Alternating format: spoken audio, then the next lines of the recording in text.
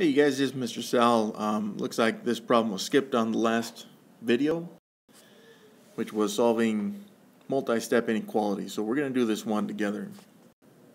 So the first thing I'm going to do here is distribute this 1 half into the parentheses to simplify the expression on the right. 1 half times 7 fourths, we're just going to put that into the calculator and let it do the work for us. That'll give us 7 eighths x right there. And then the 1 half uh, times 2 there on the second part would give us, again in the calculator, plus 1.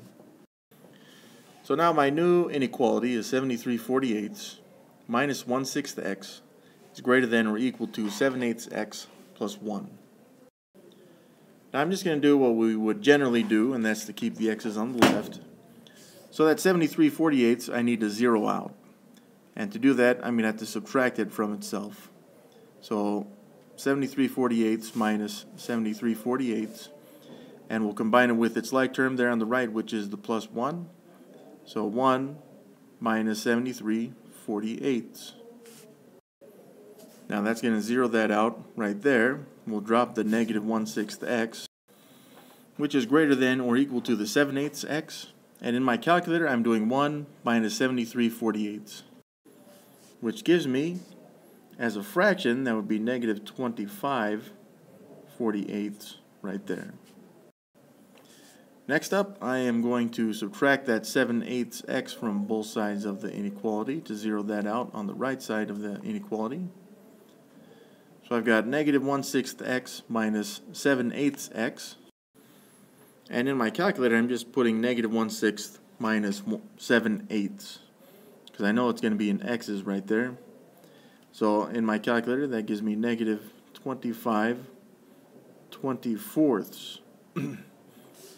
now this is still greater than or equal to, but we've zeroed out that 7 eighths x in red, and we're just going to drop this negative 25 48ths right there. The final step in this inequality would be to take that negative 25 24ths and divide it on both sides of the inequality. And what this does is it makes it a 1x, which is what we want. And over here we'll divide the same, divide it by negative 25 24ths. Now since we did divide both sides by this negative here, it will flip the inequality in comparison with the x. So x now is less than or equal to Again, I'm just plugging this into my calculator, negative 25 48ths divided by negative 25 24ths. And in my calculator, that gives me 1 half right there. So this inequality ends up being that uh, x is less than or equal to 1 half. And that'd be the final answer. Thanks for watching this, you guys. I hope it helped you out. If it did, please subscribe to the channel.